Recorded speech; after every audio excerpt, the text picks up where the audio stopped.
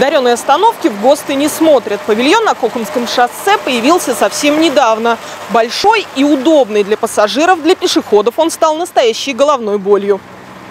За остановкой парковка крупного текстильного торгового центра. Перед ней буквально в 30 сантиметрах проезжая часть. Точнее, остановочный карман. Но сути дела это не меняет. Пешеходы, чей путь пролегает мимо павильона, вынуждены идти по самому краю. А если людей на остановке много, то выходить на дорогу. У мамочек с колясками и юных велосипедистов и вовсе нет выбора. Только по проезжей части. Мое мнение, неправильно они сделали. Потому что не учли, мне кажется, ну, мнение там пешеходов. Надо переделать. Остановочный павильон достался городу в подарок. Установлен он на средства текстильного центра. По комфортабельности и внешнему виду претензий к остановке нет.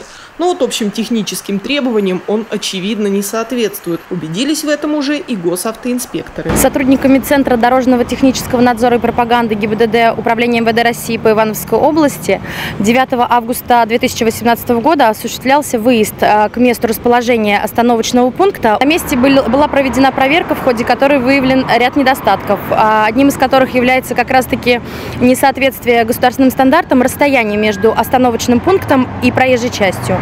По данному факту в адрес Управления благоустройства администрации города Иваново будет выдано представление а, о приведении в соответствие остановочного пункта. Представление направят в адрес городской администрации. Неважно, когда на баланс города передадут павильон, доводить до ума остановку придется. По закону отреагировать на представление ГИБДД ответственные лица должны в течение месяца. Но лучше раньше, пока не произошло непоправимое. Наталья Гутарина, Михаил Кенгуров, Антон Осипов, РТВ Иванова.